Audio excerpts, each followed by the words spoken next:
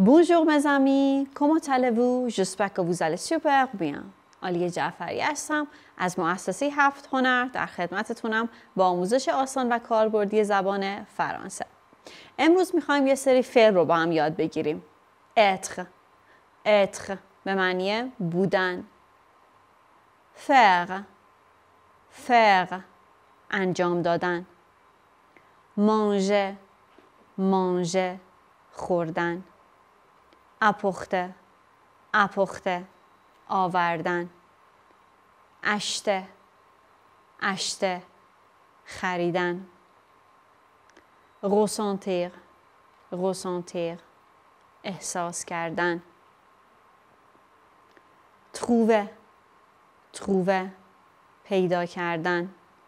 choisir choisir انتخاب کردن.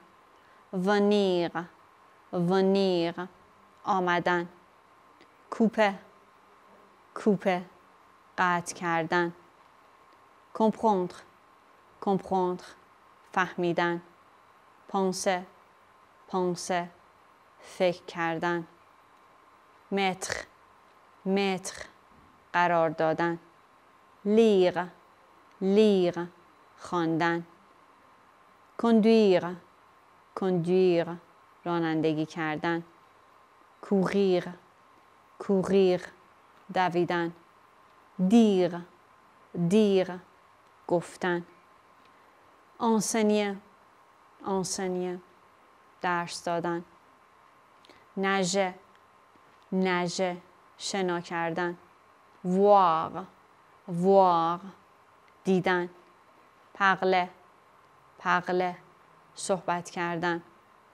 رانکونتره رانکونتره ملاقات کردن پخته پخته پوشیدن. دغمیر خوابیدن. واندر واندر فروختن. مونتر مونتر نشان دادن. شانته شانته آواز خواندن. سسواق نشستن. سسواق نشستن. رانژه مرتب کردن. رانژه ترویه. ترویه. کار کردن.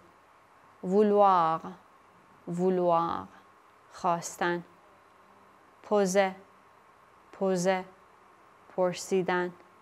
اپخوندر اپخوندر فرا گرفتن. فینیر فینیر تمام کردن. کمونسه کمونسه شروع کردن. بواغ بواغ نوشیدن. لوته لوته مبارزه کردن. سلوه سلوه شستن. وله وله پرواز کردن. اوبلیه. اوبلیه. فراموش کردن. اواق اواق داشتن. اله. اله. رفتن. اکریر اکریر نوشتن. توی این جلسه افعال مهم و کاربردی رو یاد گرفتیم. تا جلسه بعد au